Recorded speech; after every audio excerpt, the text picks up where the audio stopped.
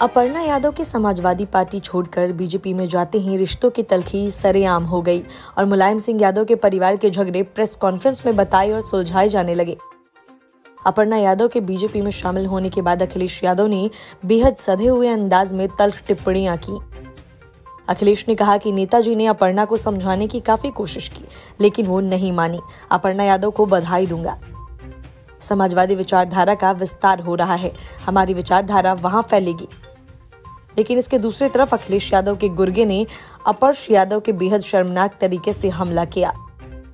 Samajwadi party के प्रवक्ता ने तो अपर्णा यादव को मुलायम सिंह यादव की बहू और उनके पति प्रतीक यादव को बेटा तक मानने से इनकार कर दिया।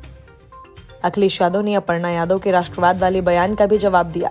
मैं खुद मिलिट्री स्कूल का पढ़ा हुआ हूँ। बचपन मैंने मिलिट्री स्कूल में बताया है। हमारे साथ के लोग सीमा पर खड़े हैं। सपा के लोगों को और मुझे बीजेपी सर्टिफिकेट ना दे। अखिलेश ने कहा कि हम बीजेपी का विकेट नहीं गिरा रहे। चाहे तो और गिरा सकते हैं। अपर्णा पर कहा कि जिन्हें हम टिकट नहीं दे पा रहे उन्हें बीजेपी वाले दे रहे हैं।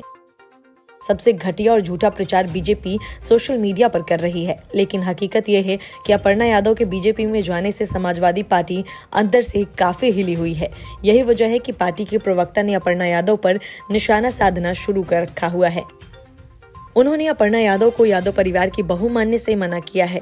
समाजवादी पार्टी के प्रवक्ता और लखनऊ क्रिश्चियन कॉलेज में लेक्चरर फखरुल हसन चाँद ने अपर्णा यादव को लेकर अपने सोशल मीडिया साइट पर डाला।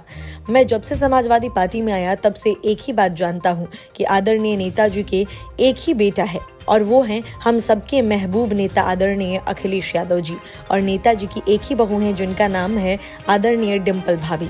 बाकी नेताजी का कोई पुत्र नहीं, जिनकी रगों में नेताजी का खून दौड़ता हो, जिसका डीएनए नेताजी के हो। जब कोई दूसरा बेटा हम नहीं मानते तो दूसरी कोई बहू भी नहीं हो सकती। सपा प्रवक्ता ने अपने पोस्ट में लिखा कि हमारे महबूब नेता के खिलाफ साजिश करने वाले चाहे अंदर के हों या बाहर से, हम समाजवादी पार्टी लोग सबसे निपटना जानते हैं। अब जिसको दल में जाना हो जाए, लेकिन अखिलेश यादव को मुख्यमंत्री बनने से साजिशें नहीं रोक पाएँगी। अपने अन्य पोस्ट में फखरुल ने अखिलेश यादव और डिम्पल यादव की तस्वीर साझा करते हुए उन्हें मुलायम सिंह यादव का असली बेटा और बहू बताया। अपने एक पोस्ट में फखरुल ने अपर्णा यादव को अपमानित करने के लिहाज से लिखा कि समाजवादी पार्टी आज अपर्णा बिष्ट के जाते ही शुद्ध हो गई। समाजवादी पार्टी किसी को हराने के लिए टिकट नहीं देगी, चाहे अंदर का हो या बाहर का। लंबे समय से पीएम मोदी और सीएम योगी की प्रशंसक रही अपर्णा यादव ने भारतीय जनता पार्टी को ज्वाइन किया है। भाजपा की सदस्यता लेने के साथ ही उन्होंने राष्ट्र धर्म को सबसे ऊपर बताया।